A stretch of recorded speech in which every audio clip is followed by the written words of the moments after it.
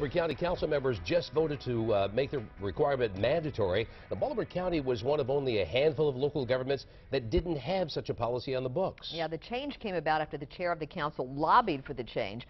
11 News education reporter Tim Tooten is live in the studio. And Tim, I'm really surprised they didn't have it much earlier.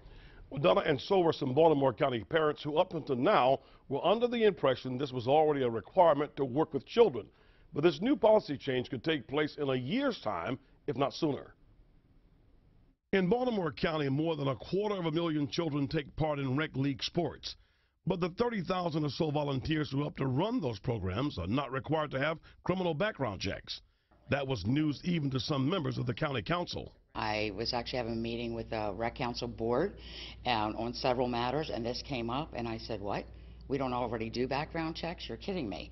Um, so from that moment on, I started researching and trying to figure out how we could implement it. The county council voted to amend legislation to include the change by 2015.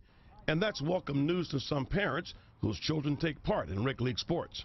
I think it's a great idea. Um, I think nowadays, you know, you can never be too careful. So I think um, having background checks on all the coaches is, is great. Gives you a peace of mind.